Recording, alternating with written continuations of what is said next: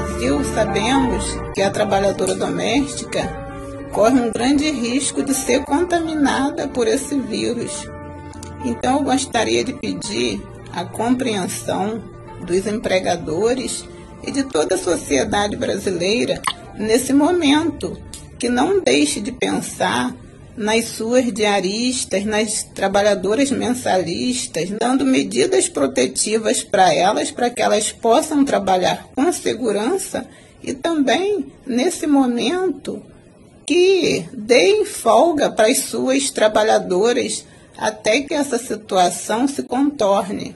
E não deixe de contribuir com os dias de trabalho, é porque a trabalhadora ela não pode ficar sem receber o seu salário e a diarista elas também têm que receber a sua diária. Então, é, peço que os senhores empregadores e empregadoras tenham essa compreensão nesse momento que nós estamos passando.